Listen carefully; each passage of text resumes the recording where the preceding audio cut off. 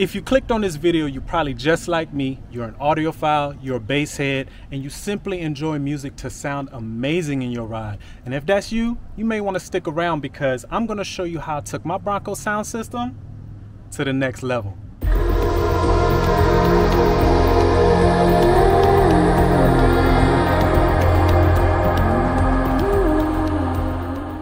What up, what it is, what's happening YouTube? It's your boy Certified and I'm back with another banger for you guys. Y'all already know what's up. If you're not a subscriber to this channel yet, what I always tell you guys, go and smash that subscribe button. You know why? Because it don't cost me none, don't cost you none. Just click that red button for me. And if this is your first time tuning in to this channel, welcome to Certified Official.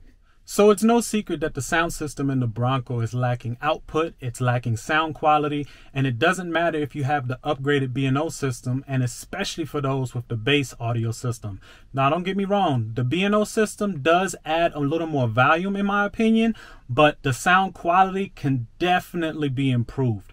So there are a ton of videos on YouTube right now where people have actually improved their sound quality by doing a simple speaker upgrade, changing out the dash speakers, door speakers, and some have actually done a software hack through Forscan to get a little more clarity and volume out of those rear pods. Though those simple upgrades make a big difference and they're extremely cost effective, for people like me and probably you watching right now, it's still not going to cut it. So I'm going to show you how I did a complete sound system overhaul, including two amps and a digital sound processor. But before we get into this thing, I do want to give a quick disclaimer. I'm not going to bore you guys with how to remove all the trim panels to gain access to everything needed in order to get this job done. There are plenty of videos on YouTube right now that go into detail on how to remove those access panels. That being said, I will be showing you guys how I wired everything up for the equipment that I chose to use and I will also give you an overview of everything that I'm getting installed today. So let's get into it. So before we get this install going, I just wanted to show you guys everything that I'm putting in the Bronco today. Uh, be mindful all the wiring, adapters, harnesses, anything that you would need to install a system like this I will have listed in the video description below including the parts that you see in front of me um, in case you guys want to do this yourself. So uh, for those that have been following me on my channel for a while, some of this stuff may look familiar and that's because it is. Uh, some of the things that I had in my Charger I took out before I traded it in for the Bronco. So let's get started. So for starters, this right here is the Dynamat. That is the laser pre-cut Dynamat system for the cargo area. Um, it covers the floor, some of the sides and everything. So I just wanted to add that to help with some of the vibrations that this sub uh, will create. For my main channels, I will be amplifying those with the JL Audio HD 600/4. My sub amp is a HD 750/1 and my sub itself is a 12 inch JL Audio um, W7. Uh, for my DSP, I have an Audison Bit 10D. Then obviously a sub remote for you know sub levels. And uh, for my front channels, I have I'm going with the component set from Hertz, the Hertz Centos. This is the flat profile, um, which you, can identify by the F. The regular versions of those do not have the F, but I wanted the flat profile because the front speakers in the kick panels, there's not a lot of room behind there, and I didn't want to get custom brackets made in order to fit those or, or space them out properly. Um, I ordered everything through Crutchfield, so it came with all the installation gear. So the bracket that this came with will fit this speaker all right so you won't need any custom brackets if you decide to go with this series for my rear speakers the rear pods i'm going with a six and a half inch reference series from infinity um, and those will be going in the ssv work pods. Uh, I ordered these unloaded. Um, you do have the option to order these loaded if you'd like. They look just like this in the picture, but if you want to get your own speakers, um, they come unloaded. Then I also have a custom panel from MTI Acoustics. Um, they make this uh, amp mounting, mounting bracket or equipment mounting bracket that goes in place where the B&O sub was, um, but due to the fact of the equipment that I have and the size amps that I have, um, I don't think I'm gonna be able to mount those on there. But even if I were to be able to mount them, I'm not going to be mounting the amps on this bracket. I will be putting my uh, crossovers and my distribution block on there because I have plans for future things in the Bronco in order to make the sound system look even better. But yeah, MTI Acoustics does make those if you guys are interested. For the front speakers, now the B&O system does come with two corner speakers and a center speaker. So because this component set is going up front in the kick panel, the tweeters for this component set is going to go on the corners of the dash and the center speaker I'm going to replace with another Infinity Reference uh, 4 and 1 16th speaker right here. And then I also have another set of tweeters that I'm going to be adding to this system that are actually going to get wired into the factory wiring where the pods were.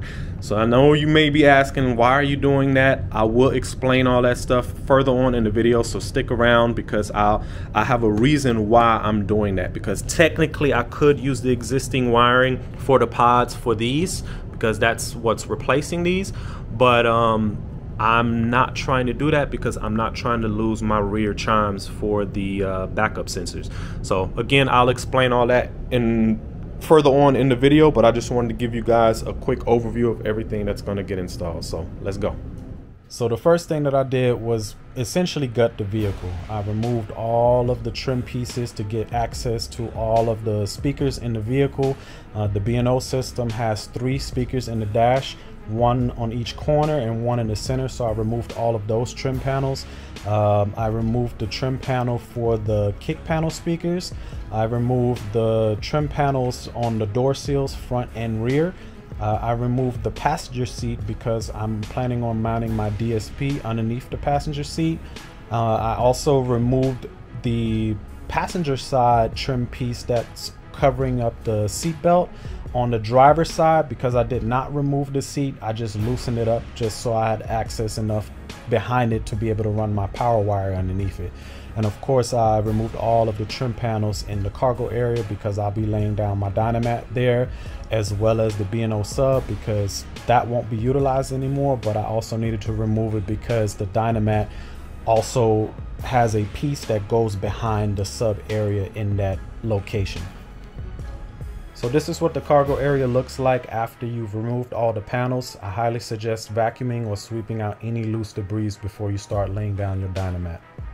So this is the pre-cut Dynamat kit for the Bronco. Um, it has all sizes exactly how you need it. There's no modifications that you need to do. All you need to do is stick it down and roll it on. So as I started installing the actual Dynamat, I noticed that it's best to not rip off the entire backing paper all at once because the Dynamat itself is extremely sticky. So what I recommend is ripping off or taking off some of the backing paper on half the Dynamat as you place exactly where you want to put it. Make sure that any of your mounting holes for your uh, cargo tray or any of your drain holes aren't covered and then start peeling off the rest as you lay it down with your hand. Once the entire backing paper is removed, then you're good to go with rolling everything down. You don't want to make the mistake of ripping the entire backing paper off and then thinking that you're going to have everything aligned in one shot. If you're lucky, good on you. But if you're not, you're going to have a hard time trying to get that Dynamat back up in order to position it properly. And this is what it looks like once all the Dynamat is installed. All of the pieces for the Dynamat are pretty self-explanatory, um, even though they're not labeled, but it's easy to figure out where everything goes.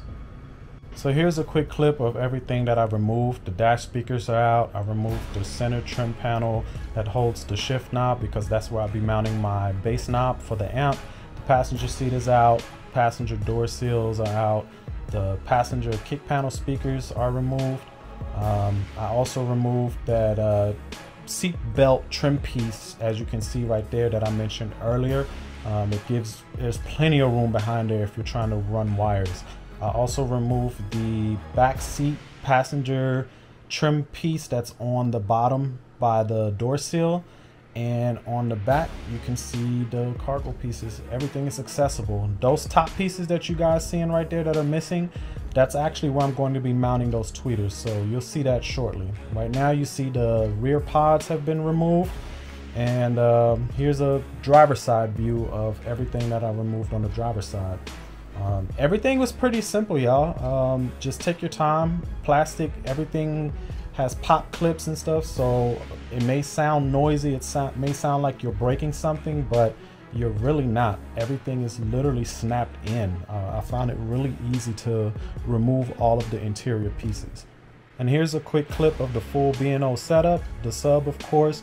And one thing I wanted to point out is that the kick panel speakers that you're seeing right now and the corner dash speakers, they are definitely different than what you get in the base audio system. A lot of people think they're the same, but they're not. So this part was a little nerve wracking because I was drilling into my actual panel and one little slip up would have ruined them. But I used a step drill bit initially to drill the initial hole and then I used a Dremel to drill them out just a little bit bigger to where those three quarter inch tweeters fit and it came out really clean. But those actually got plugged into the existing rear pod wires to where I don't lose my backup sensing chimes. After that, I drilled the hole and actually mounted the knob for my sub amp. Uh, I do feel like I mounted it a little bit too close to that little door right there, but it was just enough room to where I can still open it and plug in my phone charger if needed. Next, I cut off the connectors that came pre-installed on the SSV work pods that would be plug and play directly into your factory wiring, but uh, because those speakers will be amplified, I soldered in speaker wire and I had some Dynamat laying around that I also put inside it and then installed the Infinity Reference six and a half inch speakers. These are my mid-bass drivers for my Hertz components that I ordered and Crutchfield provided those speaker adapter rings and I had to Dremel out those notches in order to fit it. Same thing with the dash speakers. Um, those will be getting mounted on the corners. Those are part of the Hertz components and I had to drill the holes to be able to mount the tweeters in that location. I then measured around 20 feet of wiring that I soldered into the dash corner and front kick panel speaker wire harness adapters in order to run those wires to my sound processor to get a full range signal. After that, I installed the rear pods as you guys just saw. Um, that was a little bit challenging for me with the hardtop on. Uh, you soft top owners may not have that issue, but if you're doing it with the hard top on, make sure you have an angle driver because otherwise you will not have any room to be able to get those top screws on. Uh, as far as the speaker wire, as you see, I ran it across the top and down the side. And then I also installed the rear tweeters. Let me know in the comments what you guys think of the tweeters. Next, I installed the center dash speaker. I did solder in a 400 Hz bass blocker because I didn't want any bass frequencies going to that speaker. That speaker will distort at loud volume if you don't, so I do suggest you install one. As far as the panel that goes on top of it, I didn't find too many how-to videos on how to remove or reinstall it. So it's real simple. There's two screws next to the accessory port. You pull those out and then you carefully get a pry tool and remove the clips and pull it towards the windshield. The reinstallation is the same way. I do suggest, however, you take out the USB port on those two clips before you do so and then reinstall it after the fact. After that, I decided to tackle the amp power and ground wires. I ran zero gauge wiring through the engine firewall up the driver's side tray where you see the existing wiring, that tray has plenty of room to be able to run a zero gauge power wire all the way to the back. So I ran that up to the cargo area and across that cross member all the way up to where the B&O sub used to be and I ended up putting the MTI Acoustics amp rack in place of that. Uh, on that amp rack I will be mounting a distribution block um, which will be split off into two and those wires will be going back to my amps which will be mounted on the back of the seat and I will show you shortly where I put the grounds. Next I decided to mount my component tweeters and run my signal wires that I soldered into the dash and kick panel harness adapters. I ran those wires from the driver's side on the back side of the dash underneath the carpet across to where you guys see it right now um, you can't see the wire, but I ran it underneath the carpet to my sound processor, which will be mounted underneath the passenger seat. And I also ran the speaker wire that will be coming from my aftermarket amp back to my kick panel speakers and my tweeters um, towards the back. I ran my RCA wires from my sound processor underneath the carpet towards the back, which will be remain underneath the carpet all the way up behind the back seat. And as you guys see, that's where all my wires terminated. I also wired in the remote wires for the DSP and amps to fuse 35 underneath the dash. Uh, even though this fuse is listed as not used, I did find that there is power going through there when the ignition switch is turned on. And because I had a little bit of Dynamat left over, I went ahead and put that behind the kick panel speakers. And to show you guys where I mounted my amp grounds, that was actually my second location because initially where I had it at in the center, I didn't like how that looked, so I chose that location instead. And before I reinstall all the panels, because we are officially done wiring everything, I just wanted to show you guys how everything looked. All the power and ground wires are ran, speaker wires, RCAs. As you see now, this is where I mounted the distribution block, the crossovers for my front component speakers, and the factory amp slash DSP. Now you may ask why am I still using the factory amp? Um, that's because my aftermarket DSP requires high level speaker inputs and in order to get that I had to retain the factory amp.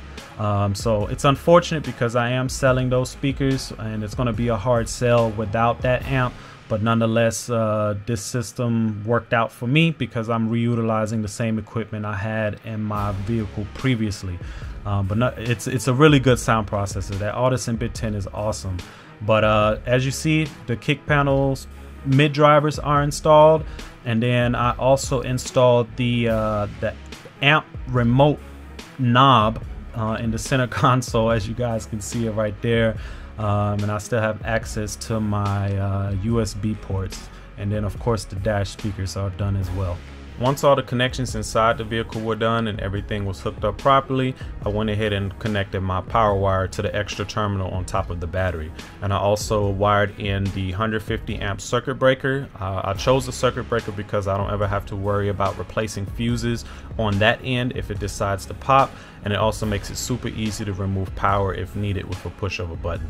And this is an overview of what everything looks like after I reinstalled all the trim pieces, passenger seat, everything is back in the vehicle. Uh, this was the most tedious process of this install was actually running the wiring for all the equipment that I have because I was very focused on making sure that you don't see anything, that it looks as clean as possible.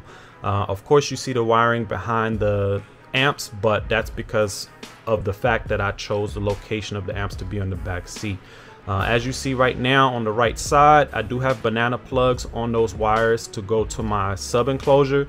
Um, and that makes it super easy for me to disconnect that sub in case I wanted to remove the sub for times when I needed to pick up something big um, that needs to fit in there. Uh, trunk space is reduced, but I can set that sub box sideways uh, to where I have a little bit more trunk space in case I needed it.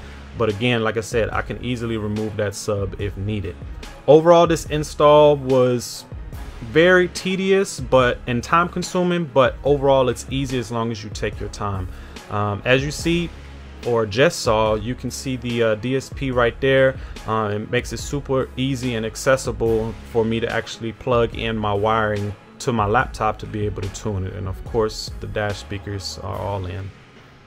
And even though you just saw that I was able to lay the back seats completely flat, I just wanted to show you guys underneath the back seats that there isn't any wiring showing.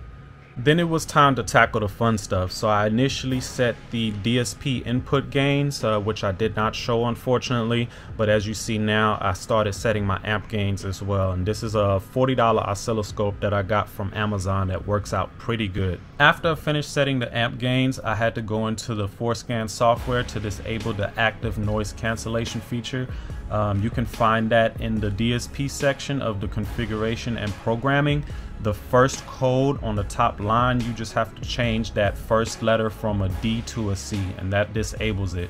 If you do not disable that uh, because your system and your speakers are not amplified you will hear a nasty crazy hum coming out of your speakers and or subwoofer that gets louder with your RPMs so as your RPMs increase the hum gets louder. So you have to disable that and after that, it was time to tackle the final portion of this install, and that's actually tuning the DSP. What I did is I picked 10 high quality recorded songs that are extremely dynamic of the type of music that I like to listen to to be able to dial everything into my liking. So there you have it. This is what it takes to take the Bronco sound system to a whole new level. And if you guys are interested in doing the same, I really hope this video finds you all helpful. All in all, this install took me about three days to do, not including tuning. The tuning on top of that in the DSP took me about four to five days, and that's because over time your ears get fatigued and it just doesn't sound the same the next day once you're done. So there's a couple of tweaks that you have to do off and on to kind of get everything dialed in exactly how you like it. So do I recommend somebody who has zero experience in car audio installation to do a job like this themselves? And the answer is yes. Number one, because it saves you a ton of money on labor costs. An installation like this at a car audio shop can easily range starting around $700 and sometimes even higher than that. If anybody charges you lower than that, I would not trust them to do an install like this. But also be mindful if you do attempt to do something like this yourself, there are a lot of tools and little added things that I did not show in this video that you're going to need, such as connectors, uh, wire trim kits, things of that nature. I couldn't even think of everything that I use right now, but there's a lot of tools and stuff that go into doing an install like this and to make it a lot more simple for you guys to do. The other question may be is how expensive is it to do this if you don't include the labor? And the answer to that is it all depends on the type of equipment that you choose to use and the brands that you choose to use. And it also depends on the outcome that you want, whether you want an SQ setup, whether you want an SQ and SPL mix, or you're trying to build a strictly SPL build it can be expensive on all aspects. It doesn't mean that SQs are cheaper than SPLs and so far and so on, but it can get very expensive very fast. So at the end of the day, it's all in the type of equipment that you want to use, the brands that you go with, and the type of output overall that you're trying to achieve. So if you want a brief example of how much everything costs if you don't include labor, just a reminder, I did put everything in the video description below of all the equipment that I installed in my Bronco today. So if you guys have any questions, don't hesitate to hit me in the comments below or DM me on Instagram. But that's gonna wrap it up for today, y'all. Like, comment, subscribe, hit that notification bell. Don't forget to follow me on Instagram and TikTok at certified underscore official. Also, hashtag salute and certified drip on all your pictures and videos to show love and support to the channel. And until next time, YouTube, I hope y'all have a good day.